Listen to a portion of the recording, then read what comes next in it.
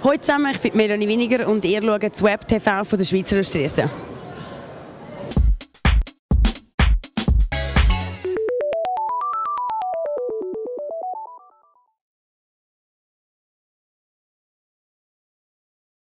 Müde, aber überglücklich zmörgelt Whitney Toyloy besichtigt Heiz Yverdon. Mit dabei ihre ganze Familie. Nach den anstrengenden ersten Tagen als neue Miss Schweiz genießt Whitney die Zeit mit ihren Liebsten umso mehr.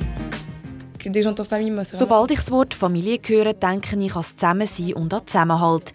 Wir machen sehr viel zusammen und sind füreinander da. Wir reden viel miteinander und auch wenn wir es manchmal nicht so gut zusammen haben, sind wir gleich eine Familie, die sehr eng zusammen ist. Whitney hat zwei Schwestern, die 15-jährige Mathilda und die 11-jährige Ava. Für sie ist ihre berühmte Schwester etwas ganz Spezielles. Ich bin ziemlich stolz und es ist auch ein bisschen komisch. Aber jetzt habe ich sie schon auf ein paar Zeitungen gesehen und jetzt verstand ich langsam auch, was passiert ist. Als Whitney so alt war wie ihre kleine Schwester jetzt, ist sie noch viel wilder als heute. Sie hatte immer Temperament und äh, sie wollte alles machen. Sie spricht viel und äh, sie ist sehr extravertiert. Ja, das, man, das sagt man so. Mhm, ja. Sie war überhaupt nicht ruhig. ich kann das nur bestätigen.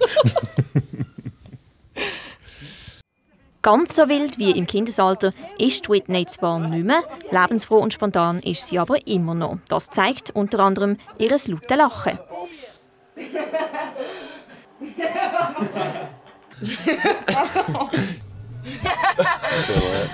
Das Lachen ist auch schon seit dem Anfang von ihrer Beziehung mit dem Karim ein Thema. Oh mein Gott. J'espère que tu changeras de rire de mon Miss Suisse, quoi. No. Ich habe gedacht, um Gottes Willen, hoffentlich kann sie ihr Lachen noch vor der Miss Schweiz-Wahl ändern. Nein, im Ernst, ich finde, Whitney sollte natürlich bleiben. Und ihr spezielles Lachen macht sicher auch ihren Charme aus. Euh, ich kann auf meine Sprachwahl achten und freundlich lächeln. Aber so sehr ich es auch probiere, mein Lachen kann ich nicht ändern. Bis jetzt hat das auffällige Lachen der jungen Beziehung aber nicht geschadet. Seit vier Monaten sind die beiden zusammen und sichtlich über beide Ohren verliebt. So verliebt, dass sogar eine eigene Familie bereits ein Thema ist. Ja, wir reden von Zeit zu Zeit darüber. Ich habe das Gefühl, dass der Karim die richtige Person ist.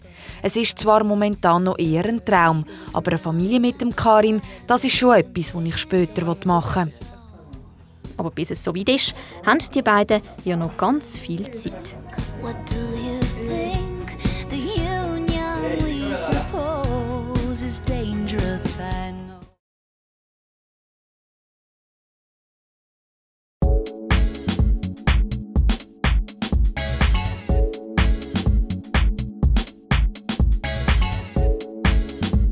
Ihre Schweizer Illustrierte jetzt am Kiosk und im Briefkasten und nicht vergessen, nächste Woche mit dem Lifestyle-Magazin Auto.